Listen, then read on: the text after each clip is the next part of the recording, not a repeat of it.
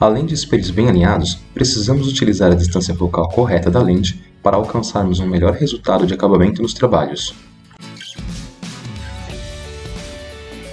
Existe uma distância entre a lente até o menor ponto convergente do raio laser que é fixa e deve ser respeitada nos trabalhos com equipamento. O menor ponto convergente do raio laser é responsável pelo melhor acabamento nos trabalhos e deve ser configurado na superfície dos materiais. Ligue o equipamento e navegue através do painel para acessar as funções.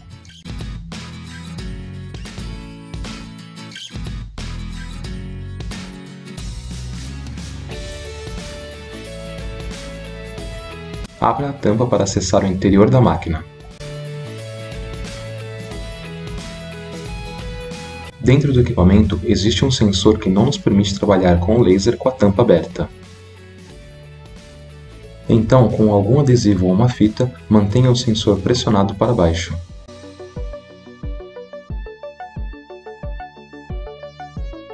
Movimente o canhão laser mais para o centro da área de trabalho.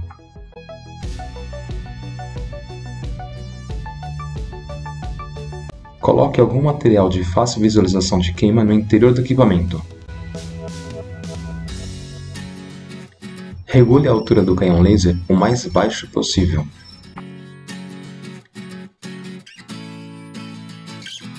Pressione o botão Teste Pulso Laser e marque o material.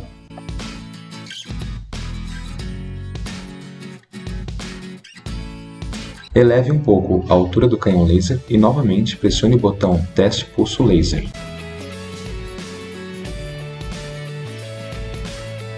Note que a marca diminuiu.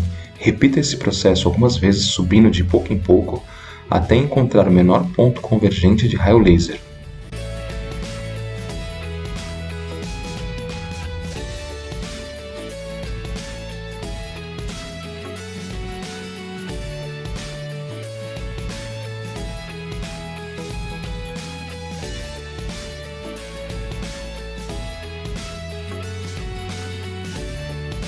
Quando notar que a marca no material começa a aumentar, volte para a última configuração e certifique-se que encontrou o menor ponto convergente. Agora que você encontrou o menor ponto do raio laser na superfície do material, pegue a medida da distância entre a boca do canhão laser e o material e faça um gabarito.